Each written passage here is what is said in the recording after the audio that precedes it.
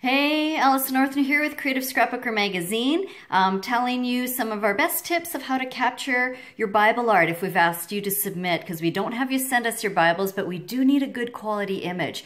So the first thing that you need to do is find some really good lighting. Um, right now, I am in front of my patio doors where you can see when I turn this direction, it's beautiful soft light. You do not want direct light, you want indirect light that just flows in. The second thing that we need you to do is check your camera settings. Um, if you can shoot RAW, um, which is like an NEF file, that's the best. If it's high quality JPEG, um, that should be fine as long as you follow the other directions as well.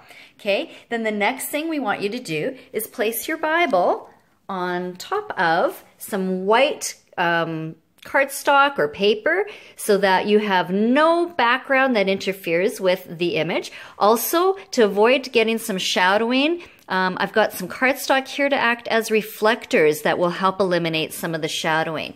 The next thing we want you to do is take your picture and be very careful of the angle. We want you to be straight on top of your Bible. We don't want you to come at it from this angle or have an angle like this or like this, but just get right over top of it, straight down.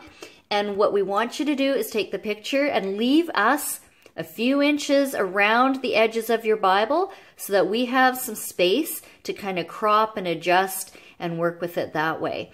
So um, again, those are the tips that we would love you to follow to capture that good quality image.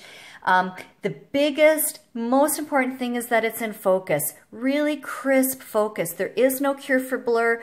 I can eliminate some shadows and adjust some coloring and things, but I cannot fix blur. So hold your camera nice and steady. Make sure your shutter speed is high enough to not cause any blur. And maybe take two or three images um, and send us the best one or two of those. Okay, thanks so much.